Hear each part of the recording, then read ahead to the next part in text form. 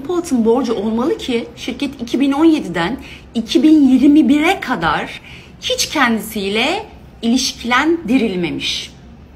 Bunca şirket yönetimindeki elden ele gezen hal ve Engin Polat'ın son bir senedir şirketin başına kardeşinin geçirmesi ileride kendinden doğacak zararların bu şirkete yansımaması için olduğu anlaşılıyor.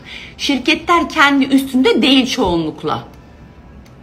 Bakın şimdi şirket yine e, Dipomet Sezgin Polat üzerine geçmiş. Görüyor musunuz? Yine şirket devredilmiş.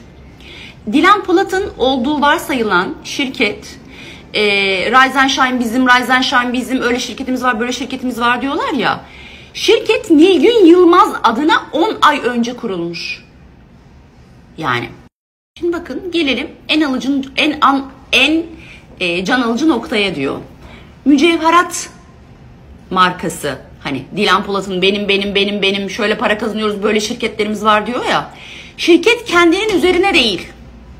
Bu paraları nasıl kazanıyorsunuz siz resmiyette? Bu paralar bizim diyorsunuz, insanları lanse ediyorsunuz. Bak Güray, Ali Güray Kapusuzoğlu'nun üzerineymiş.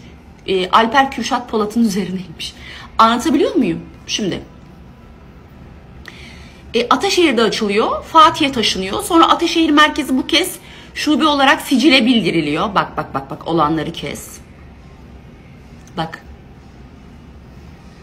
Sahibi benim diyor ya bu şirketlerin. Belgeler söyledikleriyle e, asla uyuşmuyor. Bunlar da yurt dışındaki şirketleri. Bakın bunlar bu şekilde.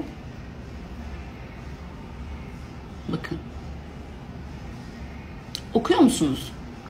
Yine yurt dışındaki şir- şirketlerde kendileri yönetim kurulunda bile gözükmüyorlar. Şimdi. Bak. Yeni palazlanmaya çalışan bir halleri olduğu ortaya açıktır.